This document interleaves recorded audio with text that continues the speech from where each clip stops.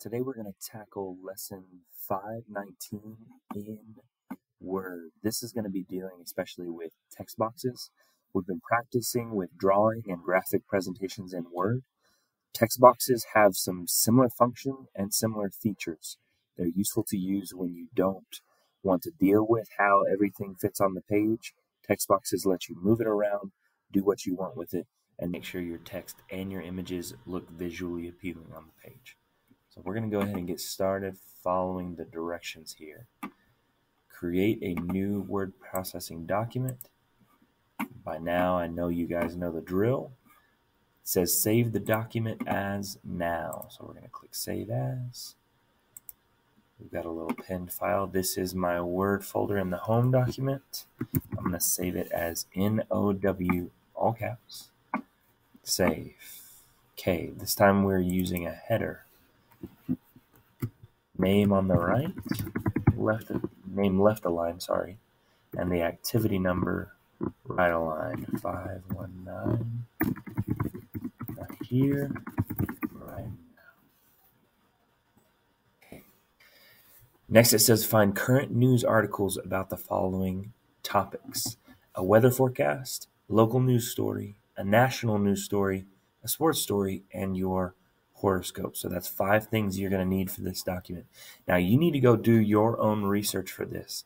I have my own articles pulled up here that I did my research. I found things related to those five categories. You need to go find your own articles. Don't just copy mine. Don't just Google mine. Go find your own articles corresponding to those five categories.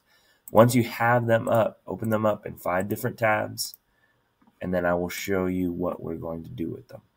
First things first, we need to type the headlines for the articles in five separate text boxes with no borders. So we need to create a text box. We're going to click Insert. Over here you have text box. We're going to grab simple text box. The problem with this simple text box is that it has a border. So we're going to need to select it if you have it selected on the edge here, you can go to drawing tools and be able to change the shape outline, which is another name for border. Go down here to no outline. If you click out, there is no border. Remember, if you have it selected, you're going to be able to see the border even if there's not one. But if you click away from it, it clears out. Okay, now that we have that, we are going to type the headlines for the articles in five text boxes. So the first is record summer weather. This is just an article about the weather. It doesn't have to be today's forecast. You need an article with a headline and preferably a picture for in just a minute. So I'm going to use Control C, Control V to create me a new text box. Move it off the old text box. For my next article, this is one of my favorite local news stories ever. West Plains Seats Power Girl for first win in program history. Okay. Control C, Control V, repeat the process, move it. Next, we got our national news story. This one was interesting to me. 1600 books. And here.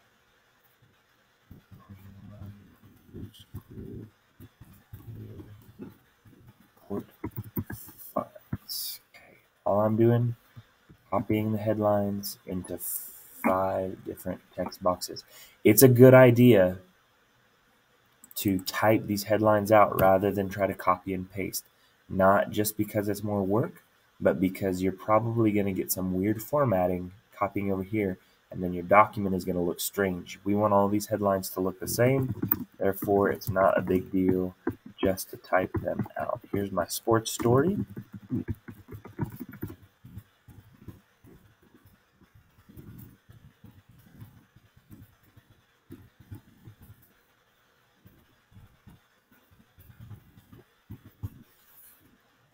Okay, last one.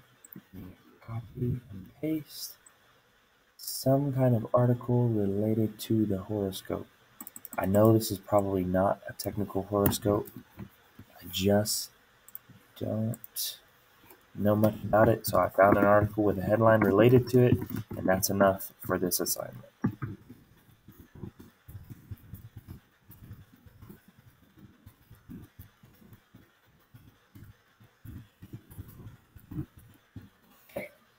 We have our five headlines. Next, I'm going to click back to the book and find out what's next. Resize the text boxes so that they each measure 1 inch high and 1.75 inches wide. Okay, this is going to be very similar. You've been doing this with drawings. We're going to go to our drawing tools. Up in the top right here, we have size. So we're going to do 1 inch high and 1.75 inches wide. Right there. Okay, right here. Same specs.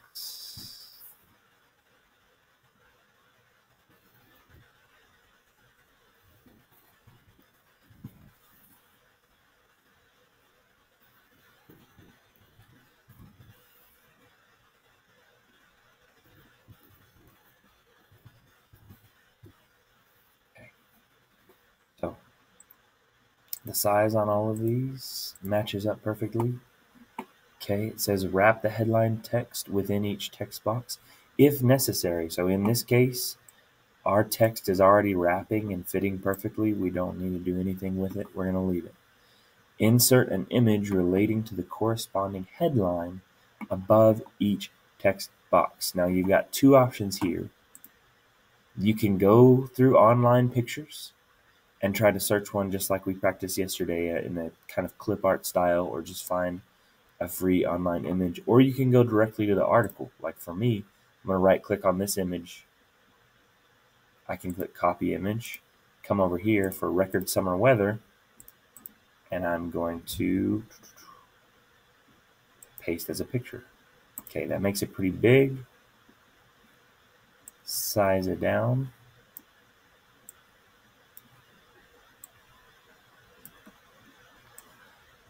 We can put it up here next to the record summer weather text box. Okay, in order to move the image around a little bit more easily, I'm going to change my layout options and I'm going to say it goes behind text, fixed position on page. If you click fixed position on page, it stops trying to make it fit with all the text and everything that's already there and you can just move it around the way you need to. That's going to be easier for us today. So I'm going to move these text box out of the way, move record summer weather underneath it. There we go. Okay, we need another image. I'm going to go back to the website because I like this picture. Going back here, same deal. Resize. We're going to click behind text and then we're going to put it next to that headline. Might even move this headline down, move this headline to the side just to clear the way. Okay, done what we need to do. More than 1,600 books banned during the 2021. So in this case, I'm going to use our online pictures just to show you what you what else you could do here. We're going to say books, enter. That's a cool image of a book. Double click on it. It'll throw it in here. Make sure we fix position on the page. We can move right over there. Okay, and then what else we got? Five star prospect from Georgia. Okay, for this one, I'm even going to do something a little bit different. I'm going to get that circle. We can collapse. Get that circle in the image. Okay, I'm going to take a screenshot because I don't really want this whole thing, but I think this little shot right here is cool. So I'm going to use the Windows key, Shift S. That'll let me take a selection. So I'm going to take a selection. That didn't work. That was a little strange. Try this. There we go. That'll probably look better. I'm going to take a selection it popped up in my notifications. I can go here and I'm going to pick, I believe this will copy it to my clipboard. I'm going to go over here and control V, paste. Got a nice little image. So you can use screenshots as well. That will work just fine. Go over there. Perfect. Okay, one more Zodiac fun facts. We're going to use this. Come back over here. Paste as a picture. Resize.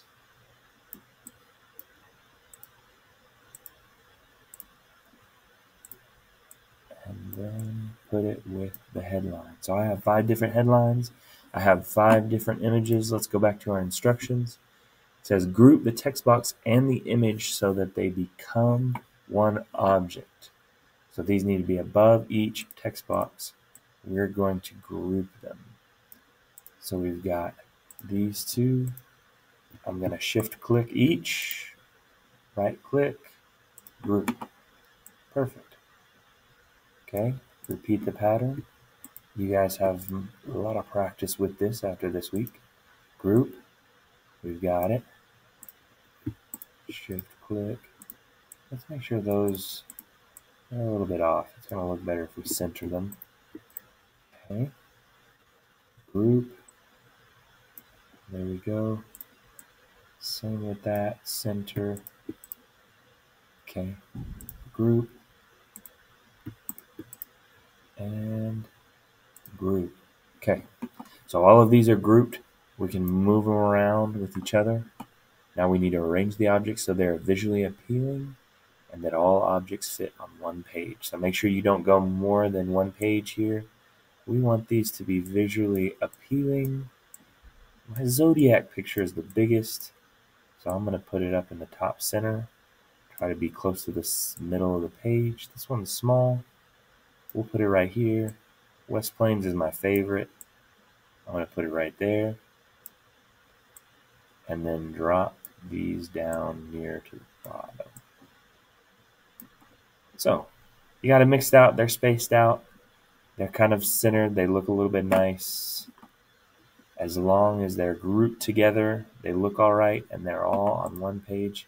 We are good to go. Carefully proofread your work. Make sure I didn't misspell anything crazy. Looks good to me. Be sure any changes have been saved. That's why you're going to save. You can click Control S as well. That will save. And then you're finished. Turn it in.